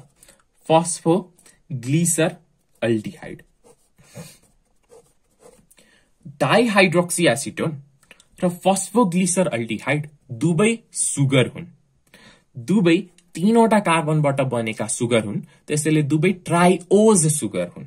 यो पनि ट्रायोज सुगर यो पनि ट्रायोज सुगर र हामीलाई थाहा छ सुगरमा आइदर किटोन फङ्सनल ग्रुप पाइन्छ ओर अल्डिहाइड फङ्सनल ग्रुप पाइन्छ। हेर डाइहाइड्रोक्सी एसिटोन किटोन त्यसैले यो सुगर भनेको किटोन फङ्सनल ग्रुप भएको हो। फस्फोग्लिसर अल्डिहाइड अल्डिहाइड यो सुगर भनेको अल्डिहाइड भएको हो। अल्डिहाइड यहाँ भयो कि fructose one comma six diphosphate भाँचियो। स्प्लिट भयो दुईटा तीन कार्बनको ट्रायोज सुगरमा र यो प्रक्रिया जहाँ fructose one comma six diphosphate बाँचियो split भयो। यसैलाई स्प्लिटिङ भनिन्छ। त्यसपछि final fifth step under energy spending phase हेर। अहिलेसम्म हामीले चारवटा स्टेप हेरिसक्यौँ। तर के यो चारवटा स्टेप मध्ये कुनै पनि स्टेपमा एनर्जी बनिरहेको छ? छैन। जे भइरहेछ एनर्जी खर्च भइरहेको छ। स्टेप वानमा एनर्जी खर्च भयो। स्टेप थ्रीमा एनर्जी खर्च भयो। स्टेप बन्ने सरी एनर्जी बन्ने अहिले सुरु भएको छैन। फिफ्थ स्टेप हेरौँ। फिफ्थ स्टेपमा यो जुन डाइह्याप छ डाइह्याप तीन कार्बनबाट बनेको ट्रायोस सुगर हो। डाइह्याप कन्टिन्युसली कन्भर्ट भइरहेको हुन्छ पगालमा अथवा फस्फोग्लिसरल जुन पनि थ्री तीन कार्बनबाट बनेको ट्रायोस सुगर हो। र यो पगाल चाहिँ फर्दर ग्लाइकोलाइसिसमा छेड्छ। ग्लाइकोलाइसिसमा डाइह्याप चाहिँ ग्लाइकोलाइसिसमा छेड्दैन यो छेड्छ यहाँ आइसोमराइजेसन भएछ त्यसैले फिफ्थ स्टेपको नाम रहेको छ आइसोमराइजेसन र सिन्स आइसोमराइजेसन भएछ यहाँ इन्भल्भ भएको इन्जाइम हो आइसोमरेज इन्जाइम र सिन्स यहाँ आइसोमराइजेसन भएछ ट्रायोज सुगरको जसमा फस्फेट पाइन्छ। त्यसलाई भन्छ ट्रायोज फस्फेट आइसोमरेज इन्जाइमको नाम? हेर जहाँ काइनेज इन्जाइम छ त्यहाँ म्याग्नेजियम को फ्याक्टर छ स्टेबिलिटीको लागि। यहाँ काइनेज इन्जाइम छ त्यसैले यहाँ म्याग्नेजियम टु प्लस पाइन्छ यो प्रक्रियाको स्टेबिलिटीको लागि। म एकचोटि सब थोक मजाले रिभाइज गरिदिन्छु। फोकसमा छ। ओके फोकसमा छ। मैले के भने? ग्लाइकोलाइसिसको स्टेपहरू के छ? फर्स्ट स्टेप सबभन्दा पहिला हामीसँग ग्लुकोज छ जुन छवटा कार्बनबाट बनेको छ। यो ग्लुकोजमा फस्फेटको एडिसन हुन्छ र ग्लुकोजबाट बन्छ ग्लुकोज सिक्स फस्फेट। फस्फेटको एडिसन छवटा कार्बनबाट बनेको ग्लुकोजको सिक्स कार्बनमा गएर हुन्छ। यो फस्फेट कहाँबाट आउँछ? एटिपीबाट आउँछ। एटिपी आयो एडिपी बनेर गयो र एउटा फस्फेट दियो जुन ग्लुकोजको सिक्स कार्बनमा गएर अट्याच भयो र ग्लुकोज सिक्स फस्फेट बन्यो। सिन्स यहाँ फस्फेटको एडिसन भएछ यो प्रोसेसलाई फस्फोराइलेसन भनिन्छ। त्यसैले फर्स्ट स्टेप के रहेछ त? ग्लाइकोलाइसिसको फस्फोराइलेसन रहेछ। यहाँ इन्जाइम कुन चाहिन्छ? सिन्स एटिपी इन्क्लुडेड छ इन्जाइमको अन्त्यमा काइनेज हुन्छ। सिन्स सिक्स पोजिसनमा गएर फस्फेटको एडिसन भएछ हेक्जो काइनेज भनिन्छ हेक्जो सिक्स त्यसपछि ग्लुकोज सिक्स फस्फेट कन्भर्ट हुन्छ फ्रुक्टोज सिक्स फस्फेटमा जुन पनि छ कार्बनबाटै बनेको रहन्छ। ग्लुकोज सिक्स फस्फेट र फ्रुक्टोज सिक्स फस्फेटको मलिकुलर फर्मुला एउटै हुन्छ। तर स्ट्रक्चर भिन्न भिन्नै हुन्छ। भन्नाले ग्लुकोज सिक्स फस्फेट र फ्रुक्टोज सिक्स फस्फेट के हुन्? आइसोमर हुन्। भन्नाले ग्लुकोज सिक्स फस्फेट आफ्नो आइसोमरमा कन्भर्ट भएको छ अथवा आइसोमराइजेसन भएको छ। त्यसैले दोस्रो स्टेप के रहेछ त? आइसोमराइजेसन रहेछ।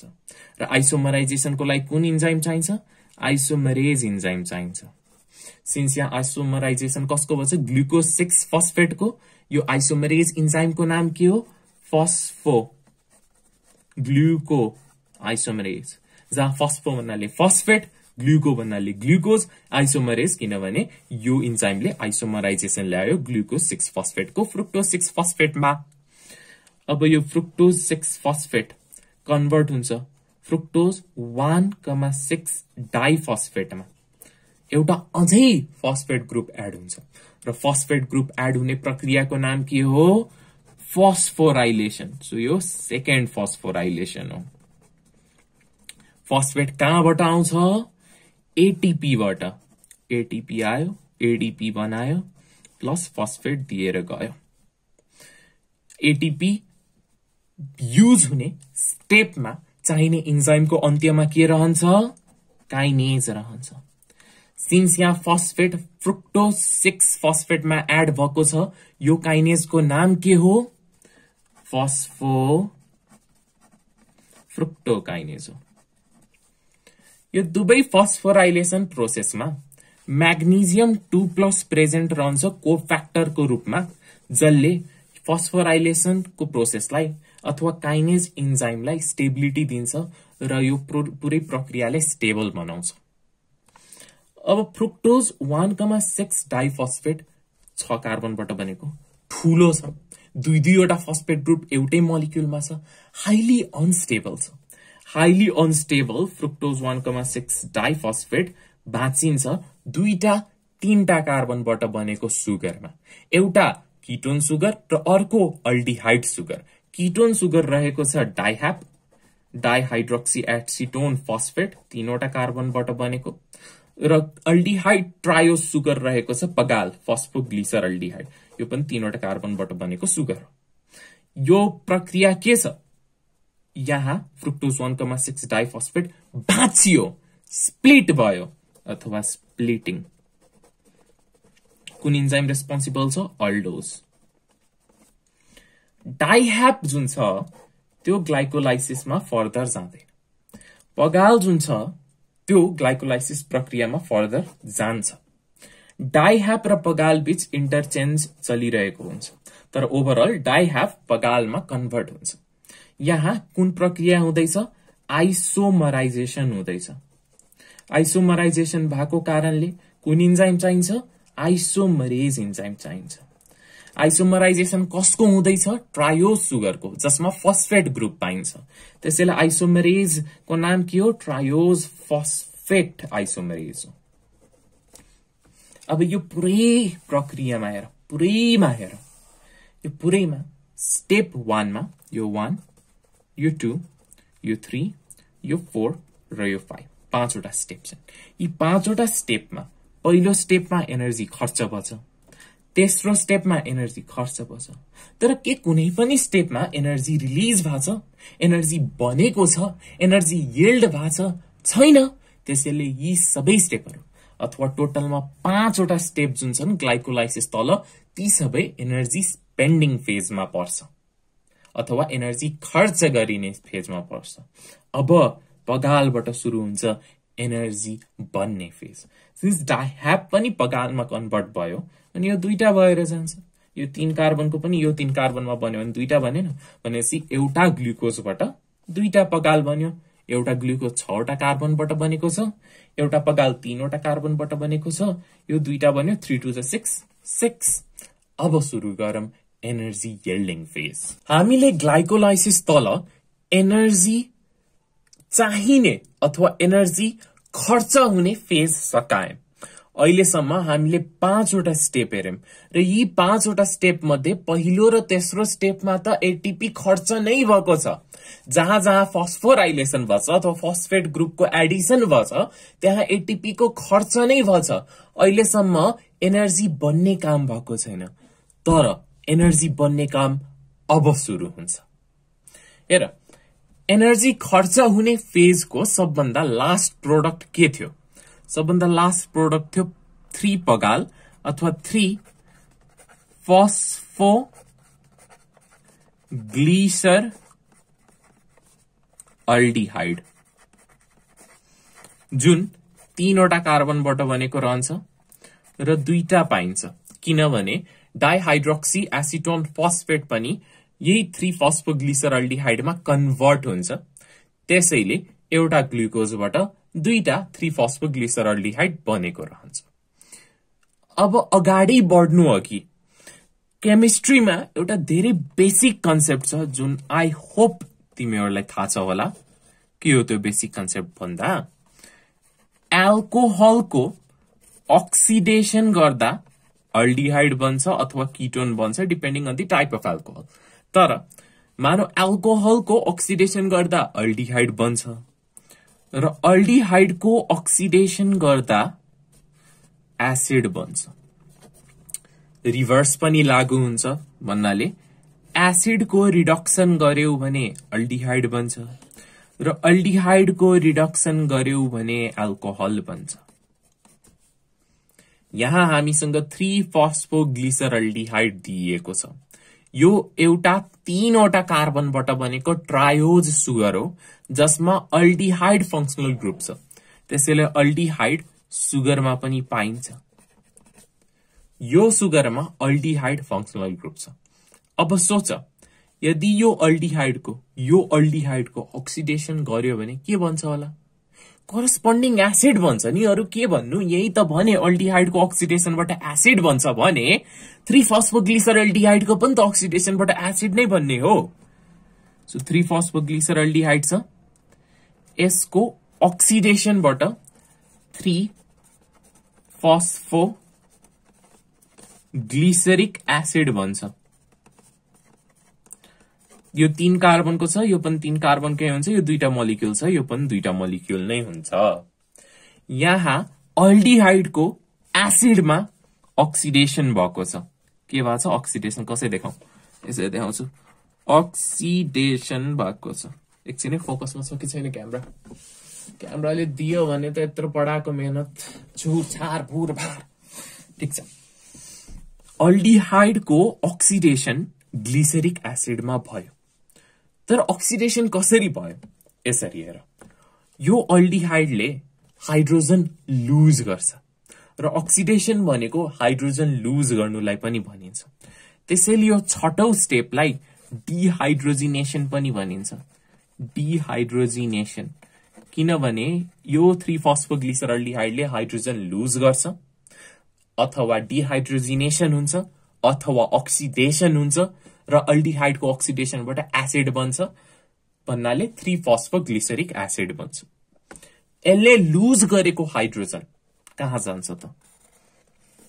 यसले लुज गरेको हाइड्रोजन एनएडीले पाउँछ र एनएडिएच टू बनाउँछ।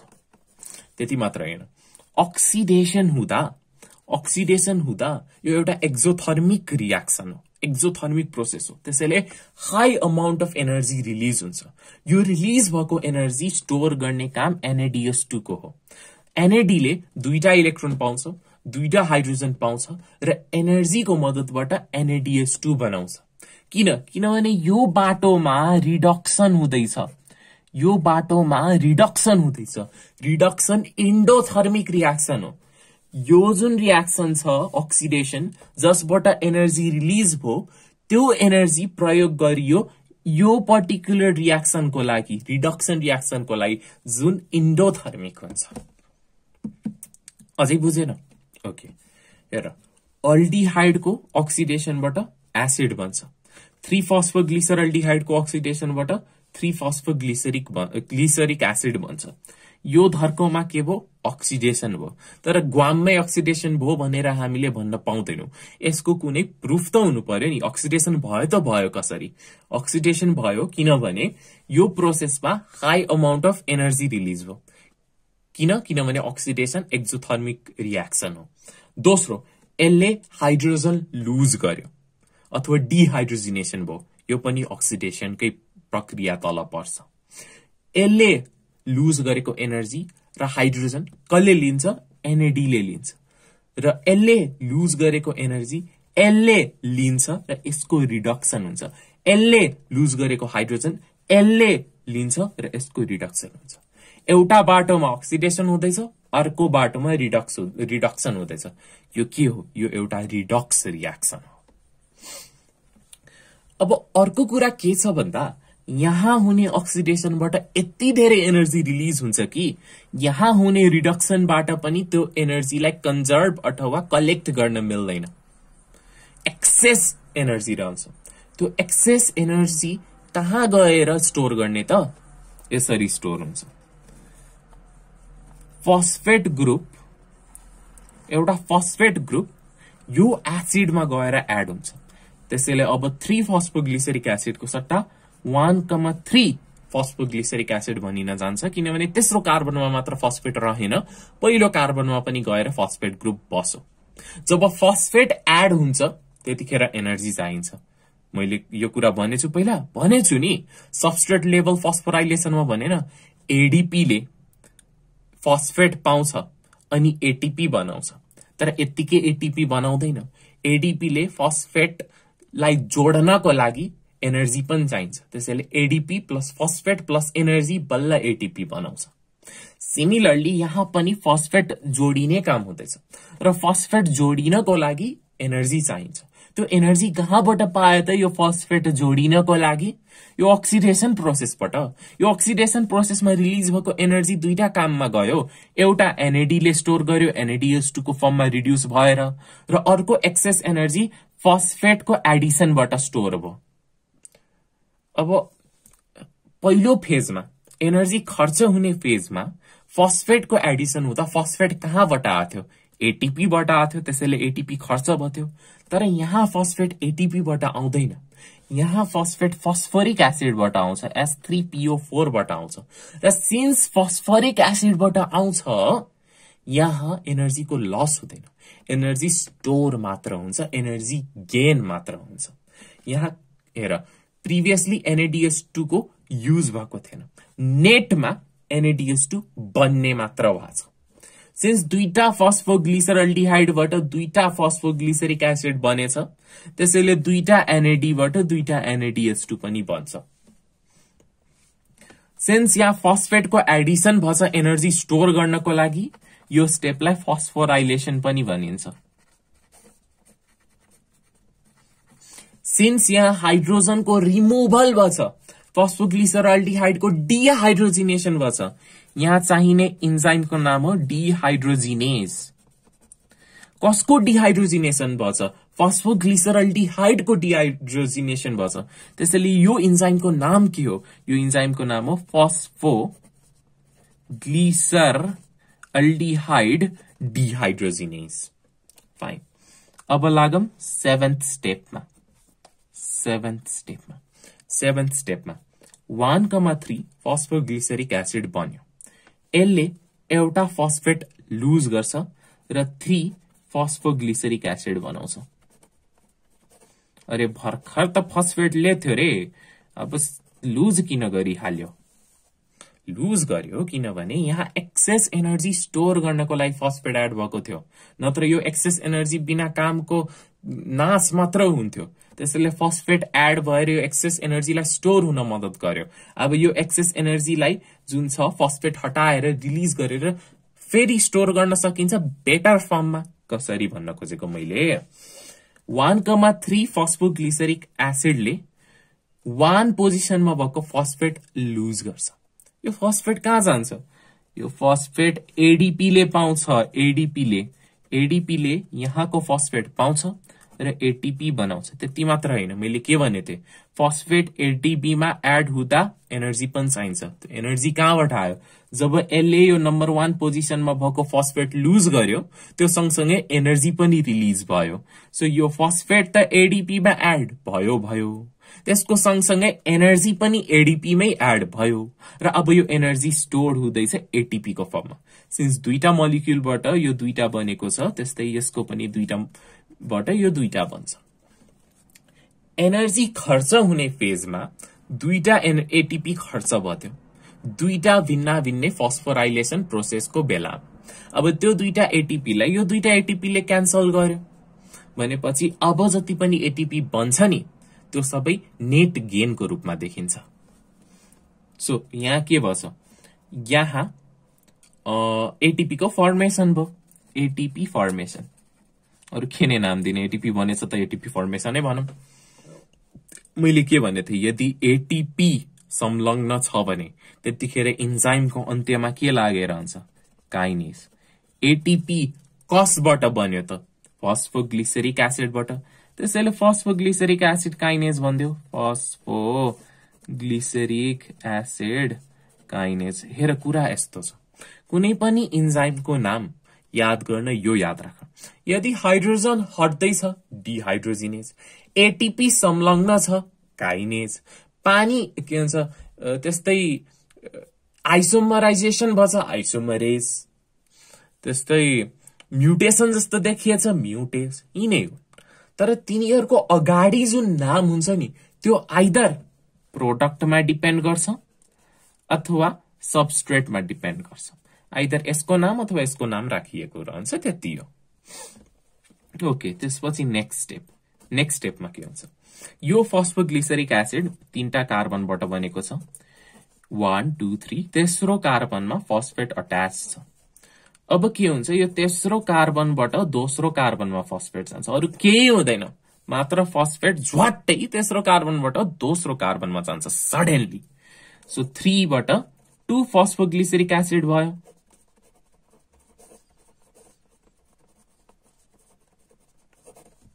इन अ वे यहाँ के भयो त? आइसोमराइजेसन भयो किनभने दुवैको मोलिकुलर फर्मुला सेम छ मात्र फस्फेटको पोजिसन डिफरेन्ट भएको कारणले स्ट्रक्चर डिफरेन्ट छ।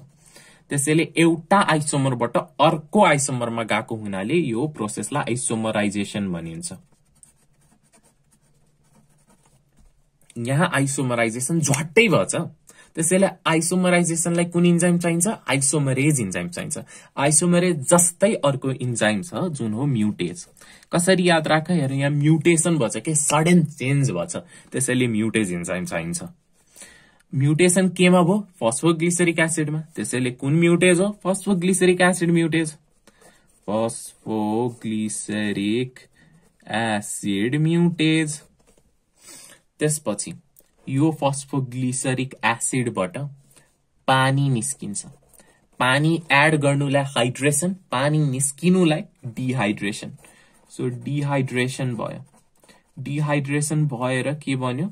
To phosphoglyceric एसिडबाट two phospho phospho enol pyruvic acid बन्यो। अब यहाँ एउटा कुरा नोटिस गर। यहाँ ग्लिसरिक एसिडबाट इनोल पाइरोबिक एसिड बनेको छ। इनोल बनेको छ। इनोल बनेको हुनाले कुन इन्जाइम चाहिन्छ? इनोल बनाउने इन्जाइम चाहिन्छ। इनोल बनाउने इन्जाइमको नाम के हो? इनोलेज हो। इनोल भनेको के हो?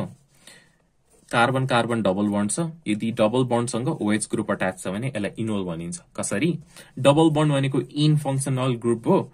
ओएच भनेपछि ओल फङ्सनल ग्रुप हो। Ene plus ol enol basic organic chemistry okay त्यसपछि लास्ट स्टेप छ लास्ट स्टेपमा यो टु फस्फो इनोल पाइरुबिक एसिडबाट फस्फेट ग्रुप हराएर जान्छ र मात्र रहन्छ पाइरुबिक एसिड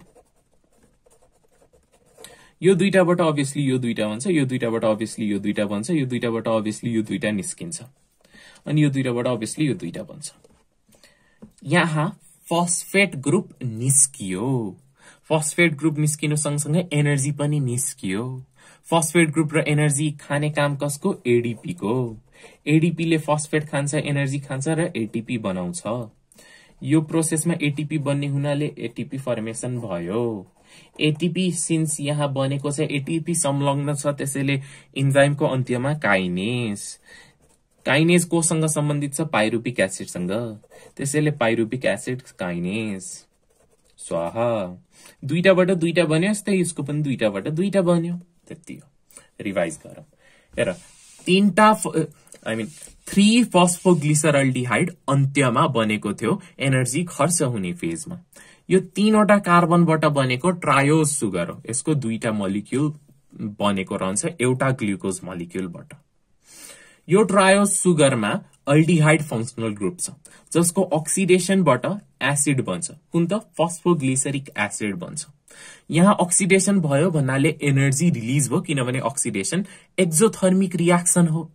यो एक्जोथर्मिकबाट रिलिज भएको एनर्जी एनएडीले लिन्छ र एनएडिएस टू बनाउँछ। सो एनएडिएस टूले एनर्जी स्टोर गरेर राखेको छ।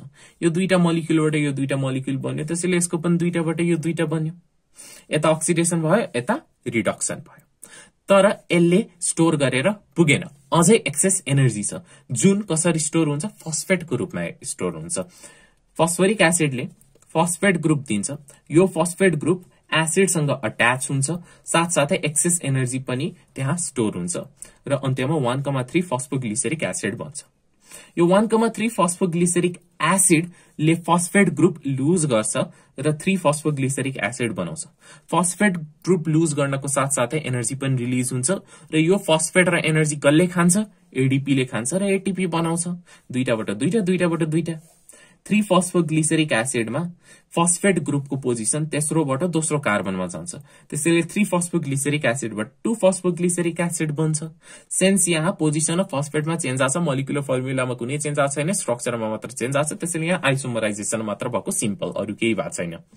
टु फस्फोग्लिसरिक एसिडबाट पानी निस्किन्छ अथवा डिहाइड्रेसन हुन्छ र इनोल भन्छ जसको नाम हो फस्फो इनोल पाइरुबिक एसिड। यो फस्फो इनोल पाइरुबिक एसिडबाट फस्फेट ग्रुप हराएर जान्छ र पाइरुबिक एसिड भन्छ। फस्फेट ग्रुप निस्किनु सँगसँगै एनर्जी पनि निस्किन्छ। यो फस्फेट र एनर्जी खाने काम कसको? एडिपीको एडिपीले खाएर के बनाउँछ? एटिपी बनाउँछ। दुइटाबाट दुइटा दुइटाबाट दुइटा हामी ग्लाइकोलाइसिसलाई एक फाइनल चोटि रिभाइज गरौँ। यसपछि कति एटिपी बन्छ? ग्लाइकोलाइसिस या कति एटिपी बन्छ? कति एनएडिएस टू बन्छ? के कसो कहाँ कति? यो सबै एकैचोटिमा बुझ्नेछौँ। सो ग्लाइकोलाइसिसको सबभन्दा सुरुमा हामीसँग ग्लुकोज छ जुन छवटा कार्बनबाट बनेको हुन्छ। यो ग्लुकोजले फस्फेट पाउँछ र ग्लुकोज सिक्स फस्फेट बनाउँछ जुन पनि छवटा कार्बनबाट बनेको रहन्छ। यो ग्लुकोजले फस्फेट एटिपीबाट पाउँछ। एटिपीबाट पाउँछ जुन एडिपी बन्छ। सो यहाँ एनर्जी खर्च भएको छ। सेकेन्डमा ग्लुकोज सिक्स फस्फेट आइसोमराइज हुन्छ फ्रुक्टोज सिक्स फस्फेटमा जसमा पनि छवटा कार्बन पाइन्छ। यो फ्रुक्टोज सिक्स फस्फेटमा फेरि एटिपीले एउटा फस्फेट एड गर्छ। सो यहाँ पनि एनर्जीको खर्च भएको छ एटिपी एडिपीमा कन्भर्ट हुन्छ र फ्रुक्टोज सिक्स फस्फेटले एउटा फस्फेट पाउँछ र fructose one comma six di phosphate बनाउँछ जुन पनि छवटा कार्बनबाट बनेको हुन्छ। Fructose one comma six di phosphate एकदमै अनस्टेबल हुन्छ।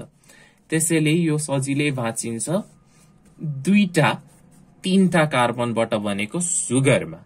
पहिलो छ डाइहाइड्रोक्सी एसिटोन फस्फेट यो पनि तीन कार्बनबाट बनेको ट्रायोज सुगर हो।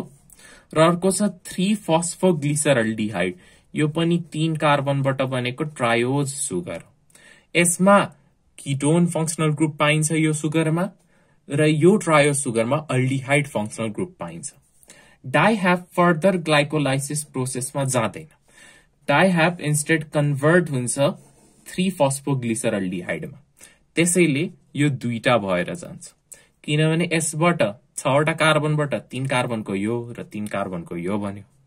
तीन कार्बनको यो यसैमा परिवर्तन हुन्छ। त्यसैले दुईटा भयो। थ्री टू जा सिक्स सिक्स एउटा ग्लुकोजबाट दुईटा three phosphoglyceraldehyde three phosphoglyceraldehyde aldehyde functional group भएको सुगर हो जसको अक्सिडेसनबाट थ्री फस्फोग्लिसरिक एसिड बन्छ। त्यति मात्र होइन यसमा फस्फेट ग्रुप पनि एड हुन्छ due to excess energy release during oxidation process यहाँ अक्सिडेसनको बेला रिलिज भएको एनर्जी एनएडीले स्टोर गर्छ। एनएडिएच टूको फर्ममा दुईटा फस्फोग्लिसरल्डिहाइडबाट दुईटा फस्फोग्लिसरिक एसिड बन्छ। त्यसै दुईटा एनएडीको रिडक्सन हुन्छ दुईटा एनएडिएस टूमा। आफ्नो फस्फेट जुन वान नम्बरमा अट्याच छ त्यो लुज गर्छ र थ्री फस्फोग्लिसरिक एसिड बनाउँछ। यो पनि दुईटा नै हुन्छ। यसले फस्फेट लुज गर्नुको साथ साथै एनर्जी पनि लुज गर्यो किनभने फस्फेट यसमा एनर्जीकै मद्दतबाट एड भएको थियो। फस्फेट र एनर्जी ग्वाममा कसले खान्छ एडिपीले खान्छ र एटिपी बनाउँछ। सिन्स दुईटा फस्फोग्लिसरिक एसिड जसमा वान र थ्री नम्बरमा फस्फेट ग्रुप छ बाट दुईटा फस्फोग्लिसरिक एसिड जसमा थ्री नम्बरमा मात्र फस्फेट ग्रुप छ बन्यो त्यसैले दुईटा एडिपी भयो दुईटा एटिपी पनि बन्छ। त्यसपछि थ्री फस्फोग्लिसरिक एसिडमा केही हुँदैन मात्र आइसोमराइजेसन हुन्छ। भन्नाले फस्फेट ग्रुप जुन तेस्रो कार्बनमा अट्याच छ अब दोस्रो कार्बनमा अट्याच हुन्छ। त्यसैले टु फस्फोग्लिसरिक एसिड भएर जान्छ। टु फस्फोग्लिसरिक एसिडले पानी लुज गर्छ। दुईटा मलिक्युल छ दुईटा वाटर मलिक्युल लुज गर्छ। र टु फस्फो इनोल पाइरुबिक एसिड बनाउँछ। फस्फो इनोल पाइरुबिक एसिड जसको दोस्रो कार्बनमा फस्फेट ग्रुप अट्याच छ यसले आफ्नो फस्फेट ग्रुप लुज गर्छ र पाइरुबिक एसिड बनाउँछ दुईटा। यसले लुज गरेको फस्फेट ग्रुप सँगसँगै एनर्जी पनि लुज गर्छ र यो एनर्जी स्टोर गरेर फस्फेट आफूमा अट्याच गर्ने काम कसले गर्छ? ग्वाम ग्वाम खाने एडिपीले र एडिपीबाट एटिपी बन्छ। सिन्स दुईटाबाट दुईटा बन्यो यो पनि दुईटाबाट दुईटा बन्छ। अब हामी यो डब यो बक्स हेरौँ। इनपुट आउटपुट र नेट आउटपुट अथवा नेट प्रोडक्ट पनि भन्दा हुन्छ।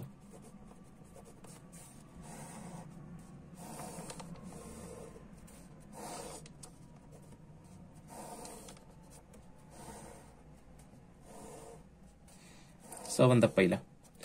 एउटा ग्लुकोज मलिक्युलबाट जुन छवटा कार्बन बनेको छ दुईटा पाइरुविक एसिड मिल्छ जुन तीनवटा कार्बनबाट बनेको हुन्छ। थ्री टू जा सिक्स नेट आउटपुट दुईटा पाइरुविक एसिड नै हो। एउटा तीन कार्बनबाट बनेको रहन्छ। टाइम्स टू लेख्दिउँ नत्र कन्फ्युज भइन्छ। ओके दुईटा एटिपी खर्च भयो। एउटा यहाँ पहिलो स्टेपमा र अर्को तेस्रो स्टेपमा जहाँ फस्फेटको एडिसन भयो त्यहाँ त्यहाँ। तर एट द सेम टाइम एक दुई तीन चार चारवटा एटिपी बाहिर निस्कियो अथवा यल्ड भयो अथवा बन्यो। एउटा यहाँ र अर्को यहाँ। दुवै ठाउँमा फस्फेट ग्रुप लुज भएको छ अथवा फस्फेट ग्रुप लुज हुँदा एनर्जी रिलिज भएको छ। सो नेट प्रोडक्ट कति छ त? दुईटा एटिपी छ। तेस्रो। एनएडिएस टू इनपुट छैन कतै खाइ खाएको छैन कतै खर्च भएको छैन। मात्र निस्केको छ एनएडिएच टू कतिवटा? दुईटा सो नेट एनएडिएस टू दुईटै छ। र प्रिभियस टाइममा मैले के भनेको थिएँ एउटा एनएडिएस टूबाट तिनवटा एटिपी मिल्छ इटिसीबाट अथवा इलेक्ट्रो ट्रान्सपोर्ट चेन अथवा इलेक्ट्रोन ट्रान्सपोर्ट सिस्टमबाट जुन पछि बुझ्नेछौँ। त्यसै गरी यहाँ दुईटा एनएडिएस टूबाट कति? थ्रीले मल्टिप्लाई गरेर छवटा एटिपी मिल्छ।